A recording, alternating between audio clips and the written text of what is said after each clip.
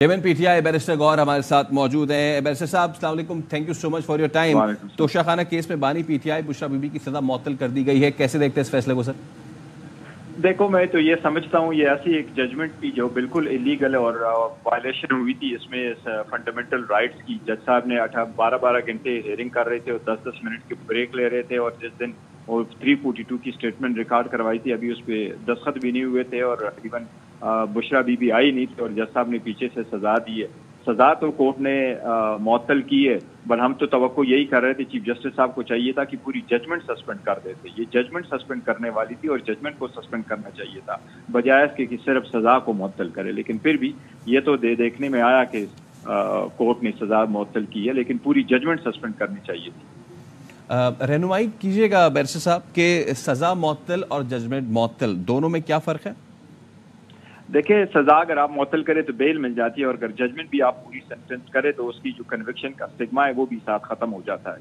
इसलिए हम चाह रहे थे कि दोनों दोनों सस्पेंडेड हो। हम्म, और जब सजा मुतल होती है तो क्या उनको अब जमानत मिल सकती है बैरिस्टर साहब? वो जो सजा अगर सस्पेंड हो जाए तो ये जमानत ही होती है। आप मुचलका जमा करते हैं आप जेल से अच्छा। बाहर आते हैं लेकिन आपकी कन्विक्शन अगर कोई है तो कन्विक्शन बरकरार रहती है या डिस्कालिफिकेशन बरकरार रहती है। तो हमारी तो इस्तः यही थी कि पूरी जजमेंट सस्पेंड हो। अभी ऑर्डर आएगा।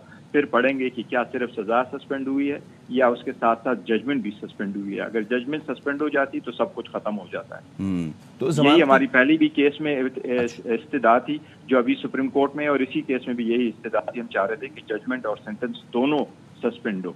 हम्म।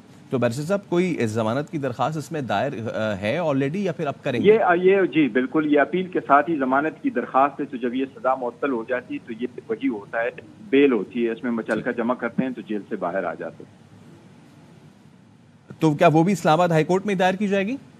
नहीं वो इस्लामाबाद हाईकोर्ट में ये जो अपील दायर हुई थी अपील के साथ ही ये एप्लीकेशन साथ जमा हुई होती है तो वो कोर्ट उस पर ऑर्डर कर देती अब ये सजा जो मुअत्तल हुआ इसका मतलब है कि बेल मिली। उसमें मचलका जमा करेंगे तो कल परसों तक फिर इस केस में जेल से रिहा होंगे। अच्छा अगर इस केस में जमानत हो जाती है तो इनके पास फिर कौन कौन से केसेस मजीद रह जाएँगे? ये तो शहाना के अलावा साइफर का केस है और इसके अलकादर केस जो इस वक्त अंडर ट्रायल चल रहा है वो अंदर का वो वा, वो वाला केस है जिसमें भी अभी जमानत नहीं होगी। अच्छा। ठीक है। बैरिस्टर साहब, एक और बड़ा अहम इस वक्त हुआ है मामला, उस पर भी हम चाहेंगे कि आप हमसे गुफ्तु ज़रूर करें, चीफ करें चीफ जस्टिस सुप्रीम कोर्ट ने इस्लामाबाद हाई कोर्ट के जजेस के खत पर जो असखुद नोटिस ले लिया है, सात रुकन लाजमंज बुद्ध को इसकी समात करेगा, इसको कैसे देखते हैं? देखिए, सुप्रीम कोर्ट का सोमोटो लेना खुशाइंद होना भी ये चाहिए था, ये हमारा मुतालबा था, ये जज साहिबान का भी मुतालबा था। और ये सारे बार कौंसलों का भी मुतालबा था। साथ साथ जुडिशरी से रिलेटेड जब जब कोई ऐसी इशू आई है तो सुप्रीम कोर्ट ने खुद सोमोटो या अंडर आर्टिकल 184 के केसेस एंटरटेन किए अलबत् सुप्रीम कोर्ट से हमारी इस्तः यह है कि सिर्फ़ सात मेंबर बेंच ना सुने।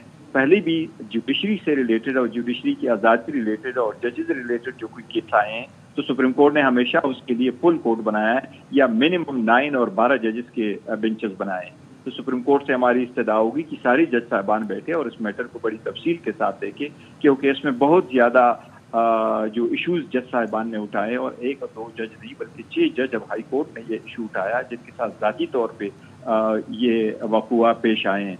साथ साथ उसमें जो ज़रूरी चीज़ है वो ये है कि जज साहबान ने जो लेटर लिखा है, उसमें फ़कत ये नहीं पॉइंट आउट किया कि हमारे साथ इंटरफेरेंस हुई है, पर उनका कहना था कि इंटरफेरेंस हो रही है।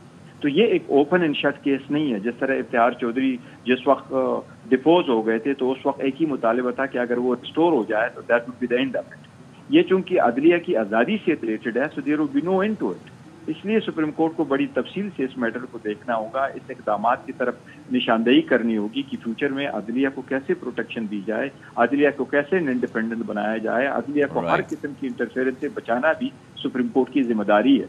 तो इसलिए ये ज़रूरी है कि सारे जज साहबान बैठे और इसको बड़े सारी इख्तलाफात और सियासी नुक़ नज़र से बालातर होके आवाम के हकूक़ के तहफ़ के लिए इस मैटर को देखें। बहुत शुक्रिया, बैरिस्टर गौर खान, आप हमारे साथ मौजूद थे और अब